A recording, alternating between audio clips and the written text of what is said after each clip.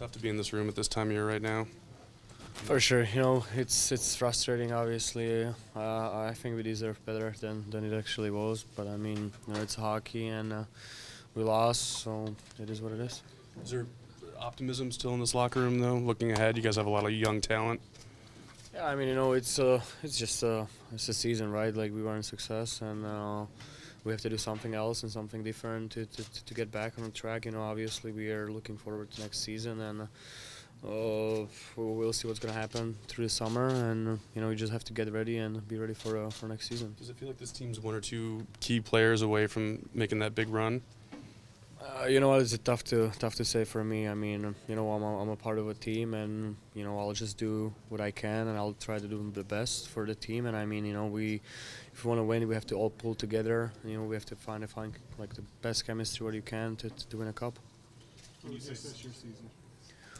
Mm, could be obviously could be better. You know, my my goals were way higher than I end up, but. Uh, you know, it was it was different stuff this year than it was last year. You know, it was different position for me, so I guess the, just the way what what the numbers are saying, that's just the way what it is now. What do you, what do you mean by that? He just used you different ways?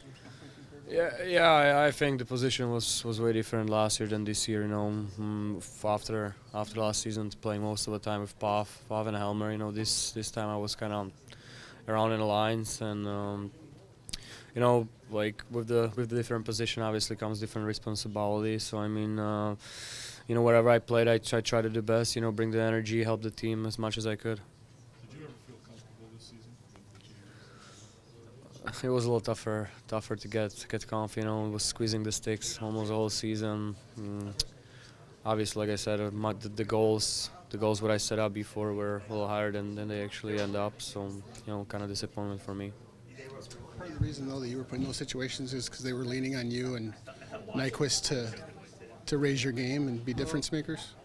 Yeah, but at the same time, you know, I don't mind to be in that position. I I felt like year before, I was there. You know, like we can we can relieve everything on Pav and Hank. You know, he take those guys need to help for sure. And um, uh, I think last season, you know, me and Nike were we stepped up and we helped them. You know, this season, like I said, was a little different for me. So like I said, it was a little tougher. Say, Tomas, uh, you're, you're one of the guys whose names kind of always pops up in trade talk. Is that something that worries you or concerns you heading into the offseason, considering that this team might be looking to make changes? I mean, I, I'm definitely not worried. You know, um, it's a part of a being a hockey player. I mean, well, like you said, this team probably need will need some changes. You know, I don't know who they're gonna who's gonna affect it by that, but um, obviously, you know, you love the organization, you love the people around. It would be would be maybe tough to change the jersey, but I mean, it's a part of this job, and uh, you know, maybe some some team will will need you some more than this team. I mean, know, that's all in air.